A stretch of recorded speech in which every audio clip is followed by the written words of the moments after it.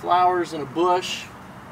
You know, a bush full of flowers. But speaking of flowers, man, we we're here at Flowers Court, and this is going to be one of the places we're going to be doing outreach and ministry uh, in, in kind of our own backyard. This place is going to be awesome. It's going to be a lot of fun, a lot of people that we'll be able to come into contact with.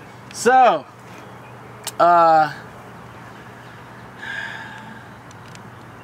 you finished with that? I just thought it'd be cool to kind of stop right there and kind of do like a dot dot dot thing. Are we done? Are you still are you still filming? What are you what are you doing? Are you still filming? What's going on? Hey! Hey! Hey!